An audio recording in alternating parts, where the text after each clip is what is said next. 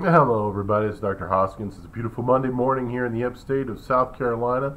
Beautiful Inman, South Carolina, south side of Lake Bowen here in Spartanburg County. Just wanted to let you know that uh, we're here ready to serve. It's going to be a great day. Got some things already lined up today. Talk to the pediatric conference that's going to be going on in the New York area this fall. Uh, I'm looking forward to attending that, looking forward to contributing to that. We have Titronics that's going to be there. It's going to be amazing.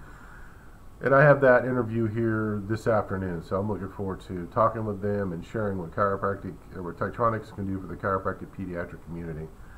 Also had some very disturbing news from Australia about chiropractic and pediatrics. They passed a law to ban chiropractic on infants and to limit chiropractic on um, toddlers and children to non uh, non high force HVLA is banned basically until you turn a teenager.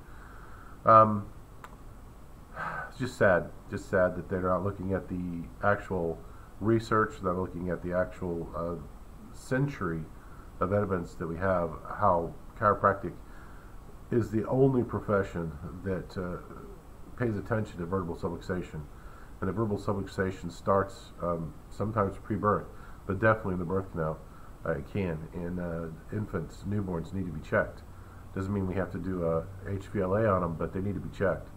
Um, they're most susceptible to that kind of uh, pressure on the brainstem, and that can set them up for a lifelong um, struggle with uh, being not as good as it could have been. There's lots of research on that, guys.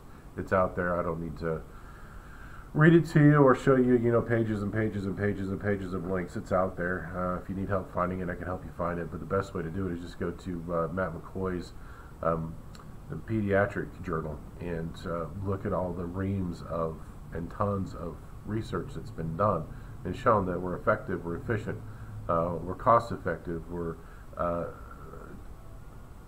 anyway. It just boggles my mind. But when you have politics, you have politicians, and they're people that can be influenced by outside forces, and that's just sad, very sad. Anyway, here at Upstate, here in the Upstate at uh, Pure Chiro Now, uh, we will take care of your entire family. We will take care of you for vertebral subluxation, whether you feel like you have them or not, because you can't feel them. Um, they press on the nervous system, and only 7% of the entire nervous system has anything to do with feeling and that includes burning and uh, pressure and pain and itching and all the other sensations we have. Only 7% of the entire nervous system has anything to do with it. So we can have pressure, extreme pressure, and not affect those sensory tracts. That's what we do as chiropractors. We detect the presence of vertebral subluxation. We determine the best scientific method of delivering an adjusting thrust into the spine so that it can correct itself. That's what we do. That's what I do every day except for well, even Saturday and Sunday I do it, but just not here in the office. Uh, go figure that. Anyway, love you guys. Um, just a great week. Make sure you look at our website for the new pricing structure. Make sure you look at our website for a new um, uh, schedule because Fridays I'm only here 8 to 2, 8 in the morning to 2 in the afternoon. And uh, rest assured, if you're a current client, the new pricing structure doesn't affect you. I've always honored old pricing for uh, old loyal clients. That's the loyalty bonus because membership does have its privileges. Anyway, love you guys. Talk to you later. have a great day because it's it's it is a great day.